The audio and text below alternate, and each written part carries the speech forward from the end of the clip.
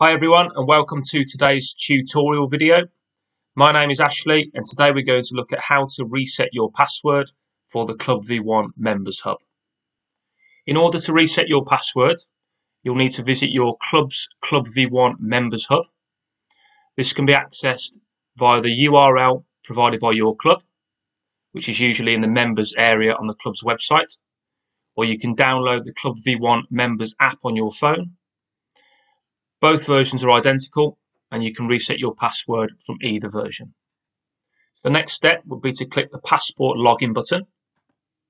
This will take you through to the login page.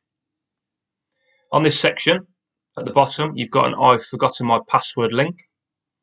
So if we click this, that will take you through to enter your email address that is linked with the account. So in this case, Mine is David R. Jones 93 at outlook.com. And once entered, I can then hit the send password reset request button.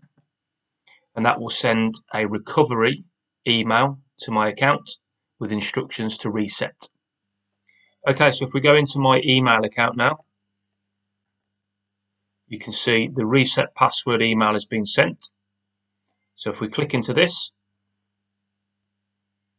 you can see there's a reset password button within the email.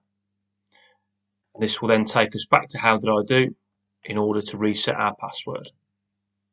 So as before, it must be six characters long minimum, contain a number and both upper and lower case characters. So if we enter a new password and then confirm,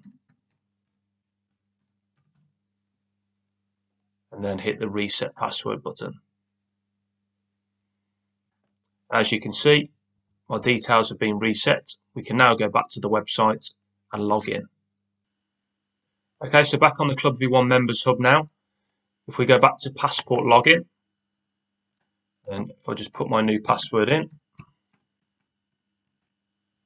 then remember, log into Passport, and that has got me back into my account. If for some reason you do not receive the reset password email yourself by clicking the forgotten password link, you can speak with your golf club and a system administrator will be able to go into the Club V1 back office. And under your record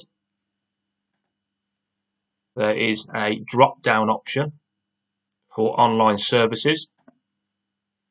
And under this section the system admin will have an option to send the password reset email again themselves by clicking the button and inputting your email address. So I hope you found this useful and you've managed to reset your password if you've struggled to in the past. Please make sure that if you can't do it yourself that you contact your golf club and they send the email again from the back office in Club V1.